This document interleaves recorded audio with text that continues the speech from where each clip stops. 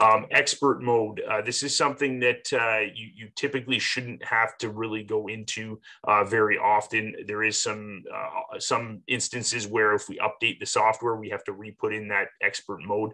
Um, this expert mode allows the user to go through and do bidirectional commands, make changes to ECMs uh, and modules, that kind of thing. Without this, it's kind of uh, somewhat a read-only.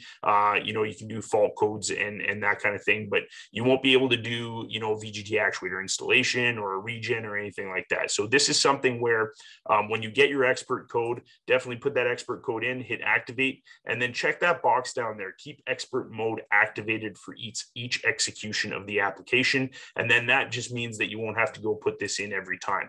As we go through the software, it's going to ask you or, or, warn you that, hey, uh, this is a an expert function.